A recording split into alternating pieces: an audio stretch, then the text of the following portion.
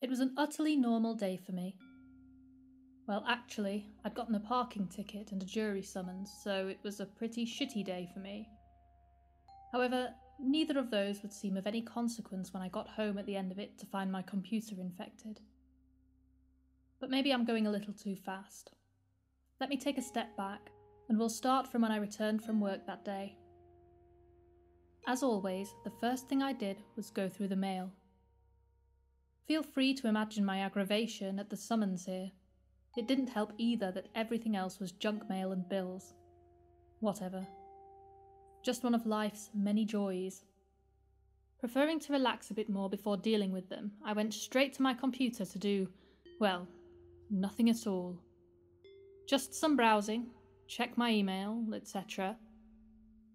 Doing nothing can be good for the soul. I noticed my computer running much slower than usual, though. Certainly slower than it was just yesterday. My first reaction was to look at my taskbar to see if maybe my antivirus was updating. Or maybe Windows was downloading new features or something. You know, the usual culprits. But alas, no such luck. I tried to put up with the slow speeds for a while, just wanting to get a level head before I had to deal with troubleshooting this thing. Yet another nuisance on this day that seemed so ripe for them. Eventually, my patience reached its limit, though. My attempts to relax at the terminal having crashed and burned, I went to address this problem now, determined to find a way to wind down, even if it killed me. Upon opening up my computer, a red flag raised. My hard drive had no free space left on it at all. To put things into perspective, I have a 1TB internal hard drive with almost nothing on it. I got this computer from a friend of mine, much techier than I. And while I don't know nearly as much about computers as she, I know that a terabyte is a lot of space, and that my entire computer didn't even use 10% of it yesterday. Clearly, something was going on, and I suspected some kind of virus or malware. I've heard there are some out there that will create a garbage data on your system, flooding it with pointless files just to fill it up and make it run slow. I'd always wondered what possible benefit there could be in this, but my friend told me there are some scammers who will infect you with one of those viruses, then try to charge you a fee to clean and speed up your PC. Fortunately, I hadn't received any such contact, yet.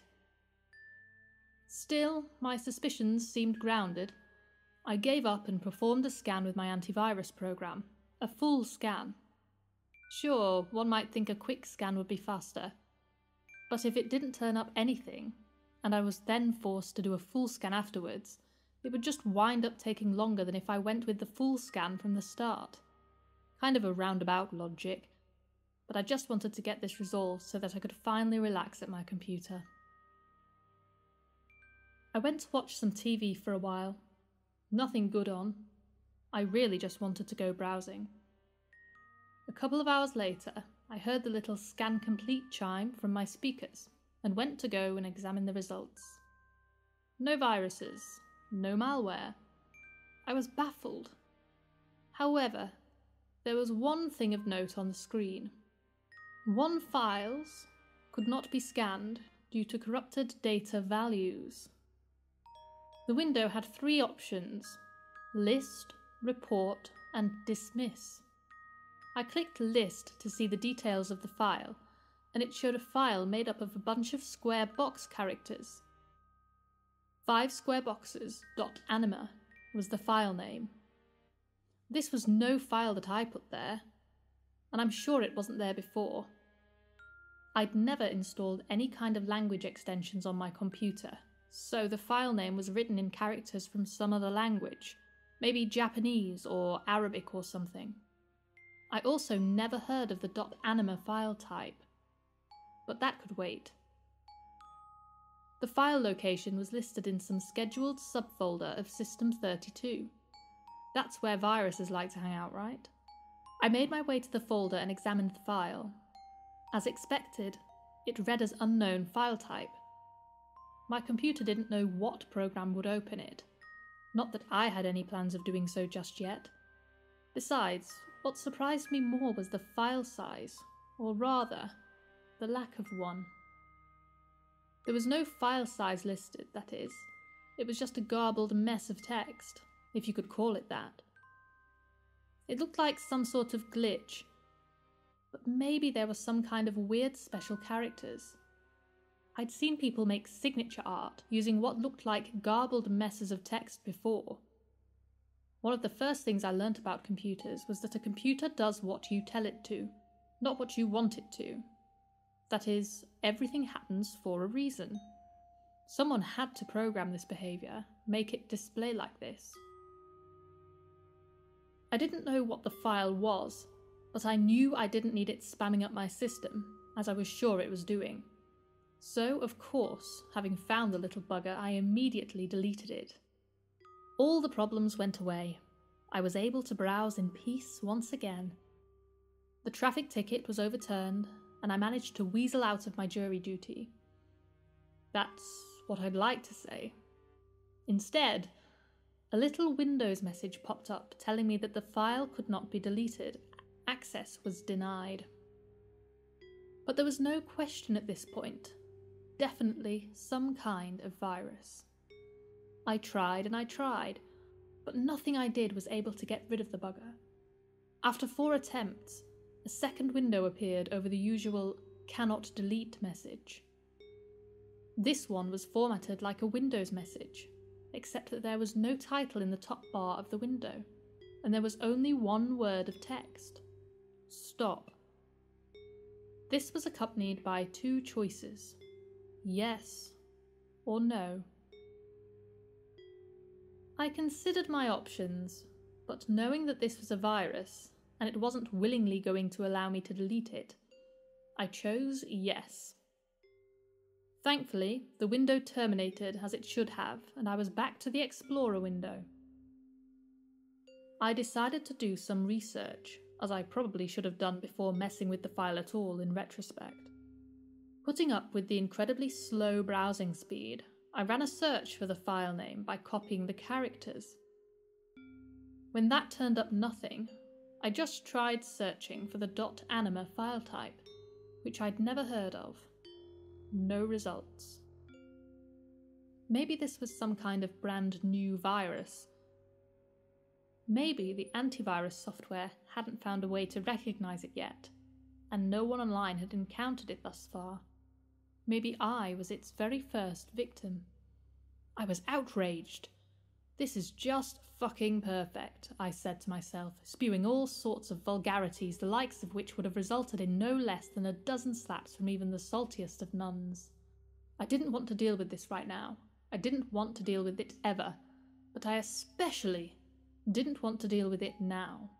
I left the computer for a while after that, just to find some other way to wind down. I wasn't that successful. The next day I was still pretty annoyed but I was at least more level headed than I was the day prior, and this was my weekend, so I would have plenty of time to figure it out. I called up the friend of mine whom I'd gotten the computer from, and she attested that she had no knowledge of any such file on it, nor of how it could have gotten there. She did offer to help me troubleshoot it, thankfully. After I told her all that I had done thus far, she seemed pretty convinced of my theory, that it was some brand new kind of virus without any currently known method of being dealt with. Unfortunately, she wasn't nearly skilled enough to try picking apart an unknown virus fresh off the market, so her help ended there. Great. With nothing left to do, I decided to experiment with the file. It took a full day to back up my important files on a separate drive, hopefully without the virus carrying over with them and the following day I was able to start dealing with the thing. The file wasn't a standalone executable, or it would have run by itself when I double clicked it. Having no knowledge of what program the file was intended to run with, I started cycling through all the programs on my computer, trying to find something that would work. First up was Notepad, as I found a lot of unknown files can be read in text format. This one turned up as a bunch of the missing character box symbols again. So it could be read as a text file, but it was all in another language. I guess that's a start. For lack of anything else to try, I continued through the list of programs. Next up was Windows Photo Viewer. I didn't expect anything to happen, since the file had been opened in Notepad. That meant it had to be some kind of text based file, right? Well, somehow, Photo Viewer was able to read the thing, and it came up with an image of a nice little suburban house somewhere. If it weren't for the subtle cultural hints, like the buildings in the background and the style of the mailbox, I would have assumed it to be an American suburb. Unfortunately, there wasn't any kind of text anywhere in the image, so I couldn't determine the country of origin. I tried to move the window to the side for later, but accidentally closed it instead. So I tried to open the program again with a photo viewer, and again it worked. But this time, I got a different image. This one, of the inside of a car, driving on a brick road, from a driver's perspective. How was this possible? Even assuming the file could be read by both Notepad and Photo Viewer, it's just one file. Opening it should come up with the same result each time. If this was a virus, it seemed to mess with the functions of my machine something fierce. I opened the file once again in Photo Viewer, and this time I got a big string of big, bold, white symbols on a black background. I could be wrong, but I'm pretty sure they were Russian characters. Is that where this file is from? Russia. And the images, too. Unfortunately, it was an image, so I couldn't copy the text and paste it into a search engine. I was curious, though. I decided to take a screenshot of the text so I could look at it later. One print screen and MS Paint opened later, I tried to paste what I'd copied. But again, the image wasn't the same. This time, it was a young woman, dressed in formal attire, looking at the camera expectantly. It was the craziest thing.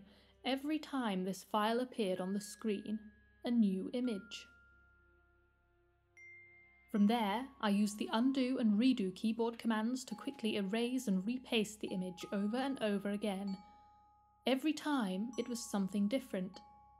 A grocery store, a theatre, someone's living room, a man looking into a mirror, a pair of grave sites. After that, the next time I refreshed the image, I got this. This made me jump a little bit. Was this supposed to be addressed to me?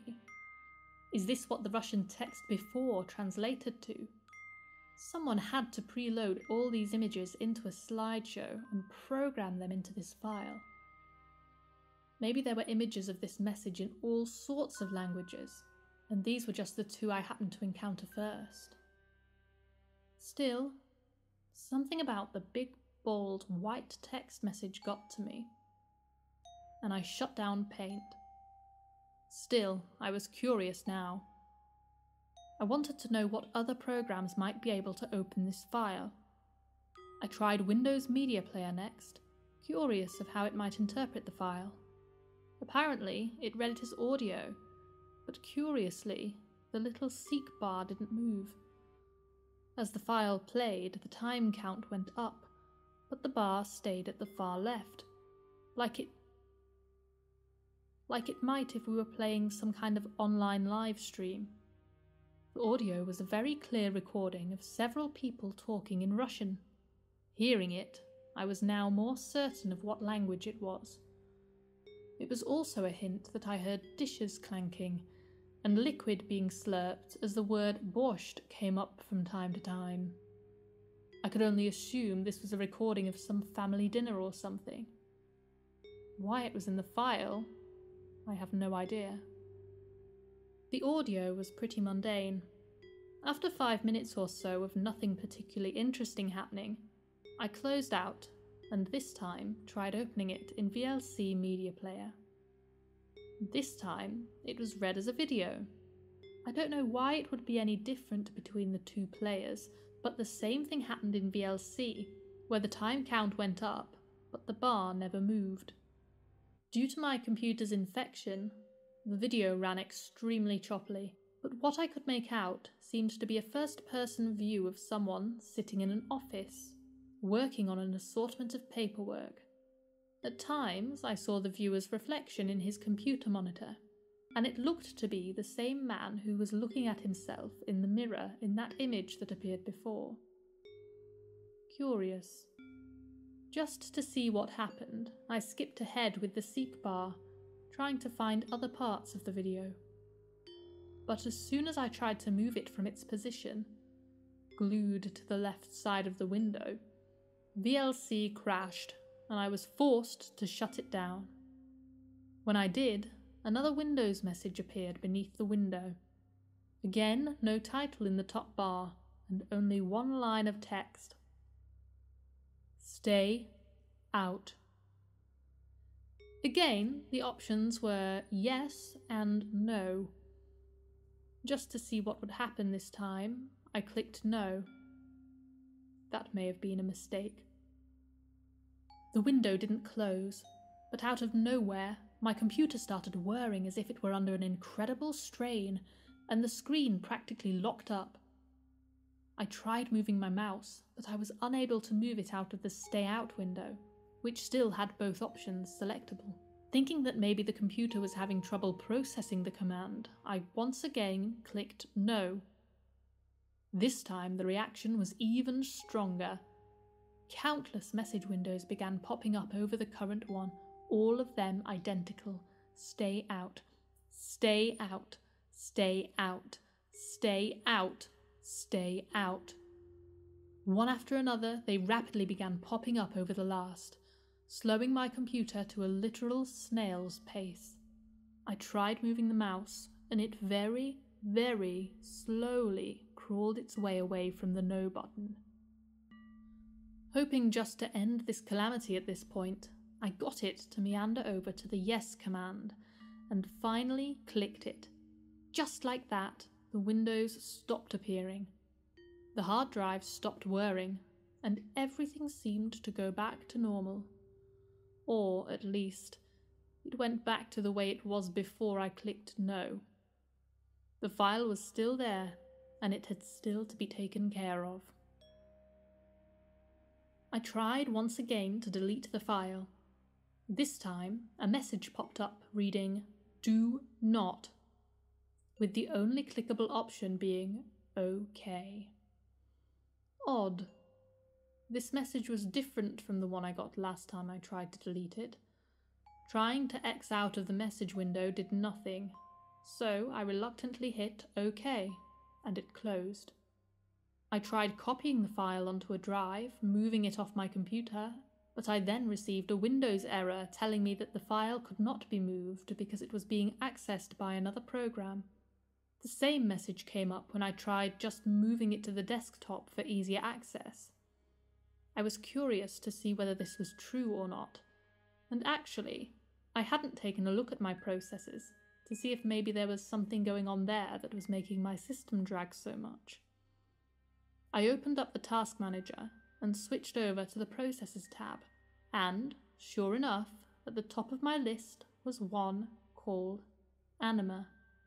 It was taking up almost the full 100% of my computer's processing power. Did that mean that this file was not only occupying my whole hard drive, but most of my RAM as well? How big was this thing? Without another thought, I chose to end the process. This resulted in another Windows message. No title. This one read, Please no. These titleless messages weren't written by any Pulitzer Prize winner, that's for sure. The clickable options were no and no. Again, unable to X out, I clicked one of the two no's, and the window closed. Underneath it, there was the typical Windows message asking me if I was sure I wanted to force end the process. Glad that the virus didn't interfere with this function, I clicked End Process, and my hard drive whirred for a moment. Then, just like that, the process vanished. My CPU usage went back down to its normal levels, and finally I was able to use the machine freely again. However, the file was still there, in the folder. I could have deleted it then and there, but I wanted to check once again to be sure that no one else has encountered this little bugger yet. So, now that I was running at almost full speed, I did another search for the Anima file type. Still no results. On a final hunch, based on the name of the process I saw running, I tried doing a search for just anima. All this returned was that anima was Latin word that functionally translates into English as soul. When I read that, it all hit me like a ton of bricks. That file, it couldn't possibly have been, could it? Was that anima file a human soul? It had to be some kind of prank, played by someone trying to horrify people for a cheap laugh. All of this had to be programmed, a great big illusion, messing with my system's functionality and creating all of these pop up messages, images, and files just to trick me into thinking this could really be a person in digital format. Of course, the very idea is preposterous. Even if there were such a thing as a haunted computer, or some military experiment to extract a human soul into a digital format, there's no reason, no way it would wind up on my computer. How could that have even come about? Granted, I have no better explanation of how such a virus could have found its way onto my system. The logical side of me knows better than to believe in some pranksters' games. But still, the possibility, however small it may be, still haunts me. What if it really had been a person in there? Their life, their memories, their thoughts and feelings? If so, what had I just done by ending the process and terminating it from my system? This wasn't something I wanted to think about. I was determined to just delete the file so I would never have to think about it again. But before I did that, I had to know. Curiosity got the better of me, and I tried running the file again. In all of the programs I had tried previously. Notepad now read it as an empty document, no matter what other program I used. It read only as an empty black screen, with faint static for audio. There was nothing left. Nothing.